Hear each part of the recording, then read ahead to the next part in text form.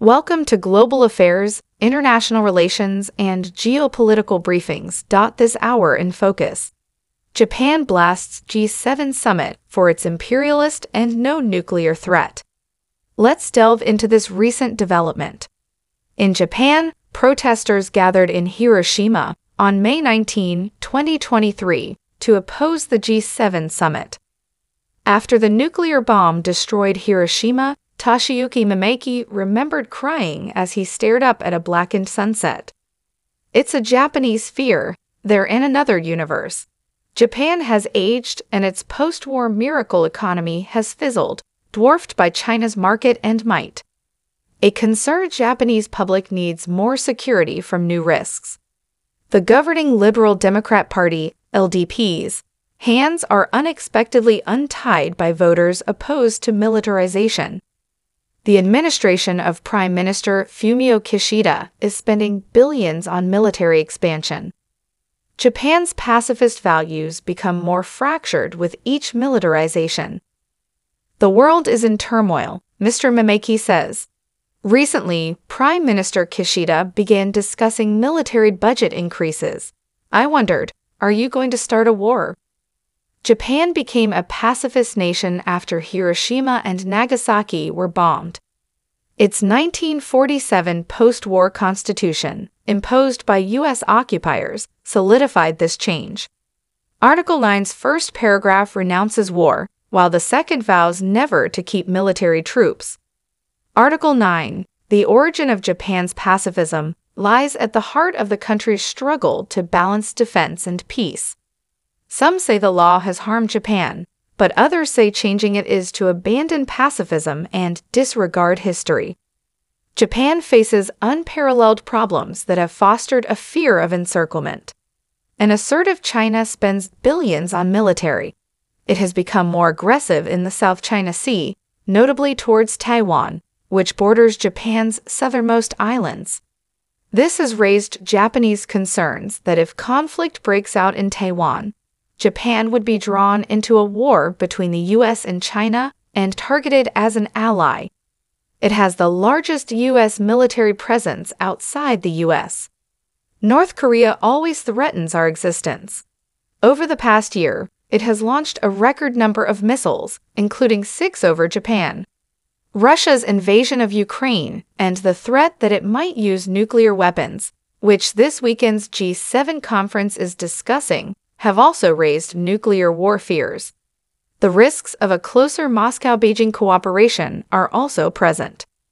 Japan understands that we are now living in a very rough neighborhood, says University of Tokyo International Security and political science professor Kazuto Suzuki.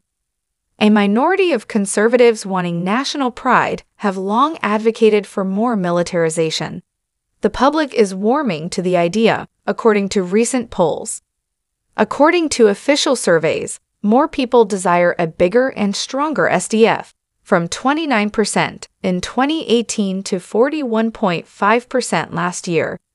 90% of Japanese support the US Japan Security Partnership, and 51% support changing Article 9, which prevents Japan from maintaining a military. It's accepted in Hiroshima. Every time I hear about North Korea's missiles, I'm horrified, adds Ems Tanaka. In today's world, people are attacked unexpectedly. I wonder if we need to see the spending as protection. G7 leaders passed the Hiroshima Peace Memorial's atomic bomb dome on May 19, 2023. After the nuclear assault, only the Hiroshima Genbaku Dome remained. This delights the LDP, the party's founding concept is constitutional change, but Abe has long backed militarization. The administration has also been pressured by Washington, particularly former President Donald Trump, to strengthen its security alliance with the U.S. The SDF's capabilities have long been a priority for the government. The public has been a brake, Professor Brown argues. That brake's gone. Japan has bought fighter fighters, repaired aircraft ships, and acquired hundreds of Tomahawk missiles under Mr. Kishida. In the next years, he will spend 43 yen, $311 ben, PS 250 ben, on defense. By 2027, Japan's military spending will be 2% of GDP and the third largest in the world. The LDP is also attempting to amend the constitution to clarify the SDF's existence and Japan's right to a military. Ironically, the LDP has traditionally regarded Mr. Kishida dovish. He advocates for a nuclear free world because his relatives died in Hiroshima. He wrote a book on it. As a way to emphasize anti proliferation, he chose Hiroshima to host the G7 summit. To sustain peace in Asia, Mr. Kishida believes Japan must greatly improve its defense.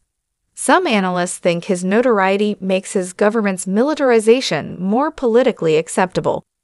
Dovish figures can make hawkish moves because people don't suspect their motives, Professor Brown remarked. But even Japanese hawks don't suggest establishing a nuclear arsenal. The only nation targeted by a nuclear weapon forbids that.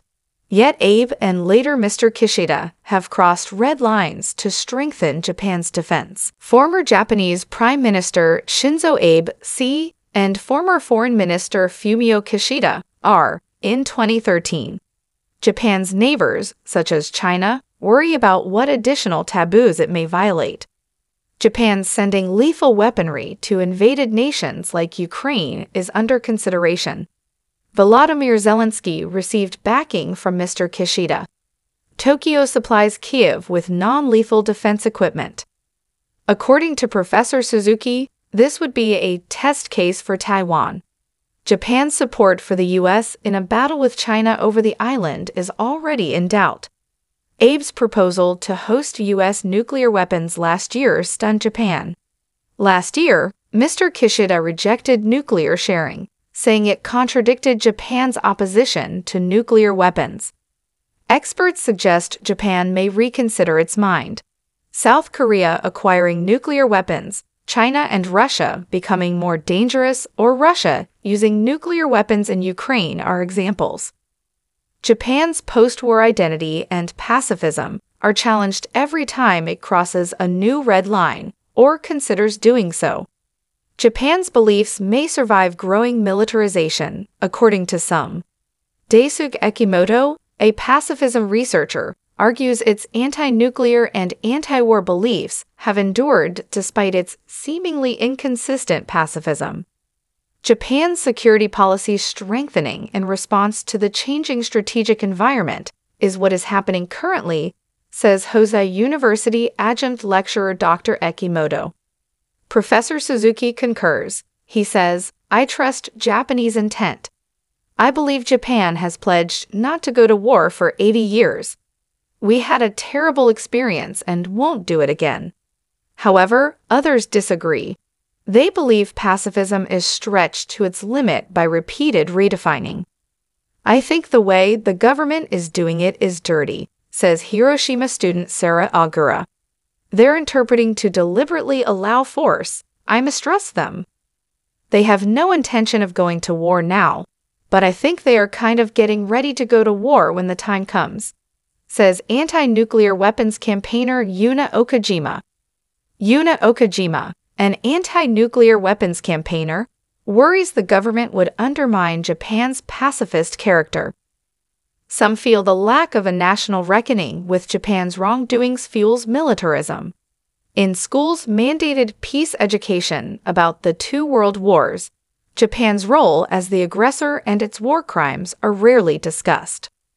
Misuzu Kanda, a graduate student, thinks Japan's negative history with other countries is sometimes covered up by the nuclear weapons issue. Hiroshima is my birthplace. Peace education focuses on Hiroshima and Nagasaki's suffering. But I think we need to reflect on what we did to other countries when we think about peace. Her buddy Ems Okajima concurs. I think it proves the Japanese government doesn't want to face this history. To foster patriotism, they wouldn't teach it to young children. But if we don't look at our perpetrator history, we're more likely to repeat it. The Genbaku Dome, the sole structure left intact after the atomic bomb, is the solitary remnant of Hiroshima's past. A nuclear attack cenotaph is across a shimmery river at Peace Memorial Park. Let all the souls here rest in peace, for we shall not repeat the evil, is engraved in marble. The atomic bombs were dropped on Hiroshima and Nagasaki in the end because we started a war, says Mr. Mimaki as he looks at the cenotaph. Hiroshima and Nagasaki burned because of the Imperial Japanese Army. We mustn't fight again. We're going to sum things up here for the time being. Thanks for watching. See you in the next video.